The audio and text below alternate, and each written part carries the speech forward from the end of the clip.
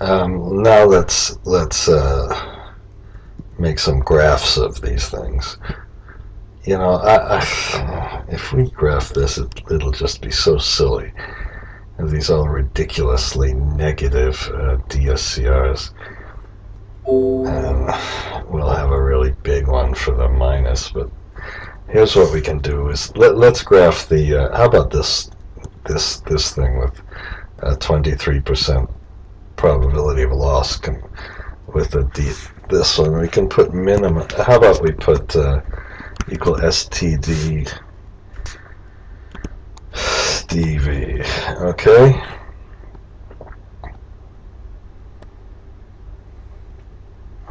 We'll just use the old one, okay?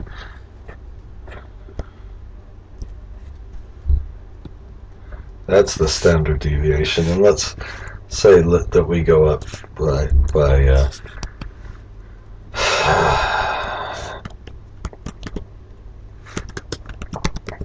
now what we're doing I should tell you what we're doing. We're putting the the mean and average okay and then we'll uh, get the average and what we need to do is kind of get a range so our our range our low is let's let's take the mean minus three times the standard deviation, something like that, and the high is the the mean plus standard deviation times three. Okay, uh, which probably is way too high a range, isn't it? Why didn't why did that work so badly? Um, well, let's just put the minimum. Minimum for the, the uh, PLCR. Okay, and then let's put the maximum. That, that's a more reasonable one. And then oh, let's put the increment. I see, that's why. You know, Oh god, let's make the maximum this plus 3 times the standard deviation. Okay, so we don't have such a ridiculous. And the increment will be this, the, the low minus the high. Let's put difference. And what we're doing is making a graph. I hope I told you this. And these are the, the these are the Oh, shit. Oh, come on! And then we put an increment. And let's just take that difference and divide it by 20 or something. So we'll have 20 different increments. So our, I'm going to call that our bins because that's what Excel calls it. And we take the uh, uh, uh, low, and then we'll just take the low sorry, take the low plus the increment and press the F4 and we'll go down R5, 6, 7, 8, 9, 10, 11. I'm looking up here to get this. Okay. I think we have to do 21. Control D. And what did I do? I, I didn't... Uh, Oh, come on. What am I doing? I pressed F1 instead. I shouldn't have had a beer. Okay. That increment should have been the difference divided by 20. What? How come I didn't put 20? So this goes kind of from the top to the bottom. That's our, our increment. I'll put Shift Control 1. And then we put a, a frequency. Okay, and we we select the whole range, shift control down, and then we select the whole number of bins, and then we press shift control enter, and of course I forgot to do this, so I can press F2, shift control enter, and this is this is our uh, frequency. Now if we wanted to put a uh, a prob we can move this over and put a probability. And then we'll take this out so it'll be the uh, x-axis. And we can just put equal this divided by the sum. Ah god. Okay I shouldn't make these videos after I, I drink. Uh, the sum of, of this. Okay double click on that. And then we press F11 I guess and we'll have our, our, our, our this is our increment of uh, LLCR, PLCR and this is our probability distribution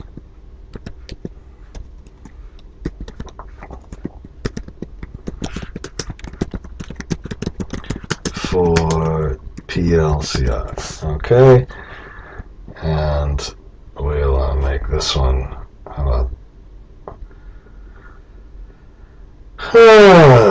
and we'll make this one a uh, bigger one. Now, you know what we could do is, uh, you know, we want to basically want to see whenever this is below 1 so we could also in in our title why don't I why don't I do that? Okay and we'll put a title because this probability uh, uh, below 1 and we'll put PLC LCR distribution probably below 1 and we can get uh, this one press shift control P I hope. And we can put that then in our uh, uh, up come on. Okay. Oh, oh and and let's make this a little bigger Okay. And, you know, maybe... Why don't... Oh, come on. Ah! I'm pressing F1, F3, and everything else. All I want to do is press a, a, a colon here so we can get that in our sheet, okay? So that probability below 1 adds all this up. Uh, why don't we put uh, uh, uh we better you know put the the uh, chart uh, axis table so the horizontal one will be PLCR increment okay and we'll make this some big one, and then we'll put uh, probability.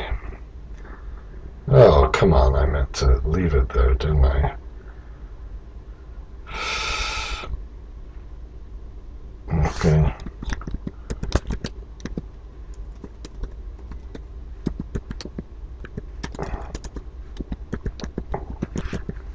Okay, and then let's uh, put that as a larger uh, thing. Okay, maybe this is larger.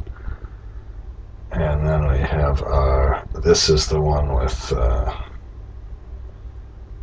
uh, uh, no mean reversion and everything else.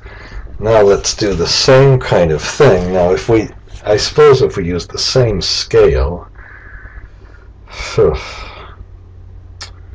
yeah, why, why don't we just use the same scale? And that, now let's do so so we can copy this uh, uh, over here. Now this time I'll do this a little bit different. Felipe from from uh, uh Rio taught me this uh, shift control enter. Oops. Oh that didn't work. I just I just wanted this. F2 No, that didn't work. Okay, Control D. Okay, why didn't that work out? Oh well. Thought it would. And now we'll do the same uh, frequency distribution. I guess we can do it over here. Uh, and then we'll leave a space equal frequency. Okay, and then this time, let's, uh, how about we'll do this one, which isn't that extreme, you know, or, or, you know, let's do this one, which had the higher production cost, except they're also high. Let, let's do this one at a, a lower production cost. And then we uh, put the bins in, shift control enter. Now you can see that it, and then we can put this divided by the sum of of that line. Okay. What did I do wrong there? You have to put a closed bracket? Okay. And then when we uh, do this, so this is the probability. And why don't, here, I'm going to try something. Uh, just click on this one. And if you press F11, it just makes another one.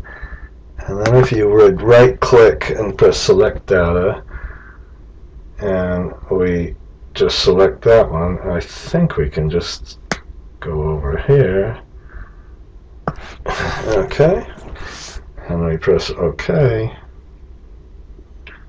And now you can see we, it, we don't have any probability of going 1 and we have a much, you know, tighter if we compare this scale to this scale. That was a much wider uh, distribution. So uh, why don't we put just a title here? Uh, probability PLCR prob distribution with mean reversion. Now if we would do the same thing, and we, we couldn't really do it with this one because we'd have to put a, a much higher uh, uh, uh range in. Okay, suppose what we could do is is uh, uh, uh, put a put an average. Okay, so let's just practice doing this. Okay, and then equal std. Okay, and then we we put the look at the difference in this. No, it's about the same. okay. And then we put, let's put the minimum. okay.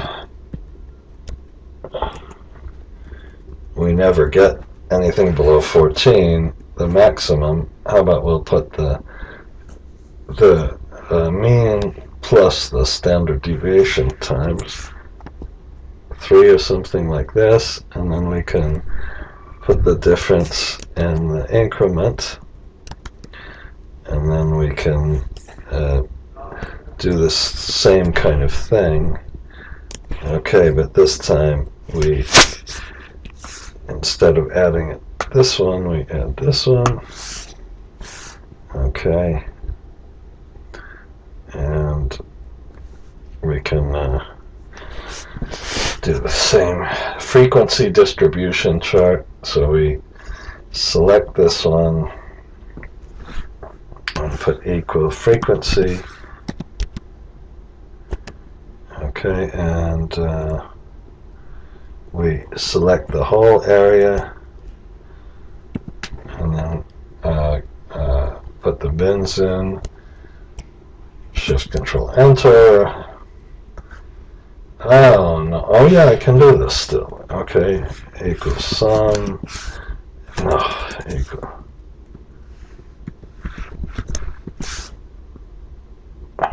Okay. And let's put the probability and let's try the same thing here this time. We can uh, right click. No we can just shift F uh, just F11 it doesn't uh, interesting. It doesn't uh, take the uh, uh, thing away. It doesn't take the so it didn't really help that much because I wanted it to take the formatting. Probably is some way to do that. Okay and now we we have just a much much higher distribution we don't get anything close to one. It looks more like a normal distribution. Okay and that's graphing. So I'm gonna stop this video now